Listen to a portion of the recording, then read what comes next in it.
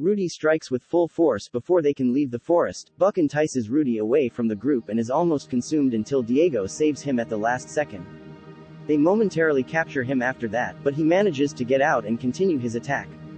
The opportune appearance of Mama, who lunges at Rudy and throws him down a cliff before proclaiming her triumph, saves the herd.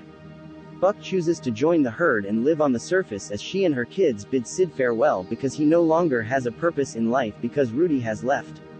He changes his mind and sends the herd home after hearing Rudy's distant roar, sealing the entrance to the underground forest in the process to prevent anybody else from entering. Peaches is warmly welcomed by Manny and Ellie, who acknowledge that Sid did a fantastic job caring for Mama's kids, though Manny tells Diego that he will never let Sid babysit Peaches. While Buck stays underground, fighting Rudy, where he wants to be, Diego chooses to stay with the herd. The opening scene of this Ice Age movie features the saber-toothed squirrel Scrat Chris Wedge, who will stop at nothing to get back his prized acorn. This time, when Lou Rawls' song, You'll Never Find Another Love Like Mine, is playing in the background, he falls in love with his female counterpart Scratte Karen Disher, but when the music ends, an acorn emerges in its place. Scrat is thrown to the ground during the two struggle for the acorn.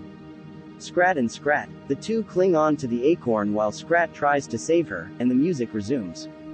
Scrat falls to the ground as she abruptly displays her ability to fly like a flying squirrel.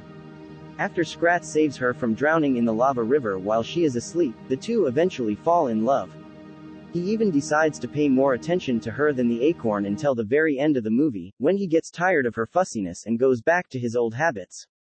Following the couple's altercation, a volcanic eruption propels Scrat and the acorn back to the surface, trapping Scratte below.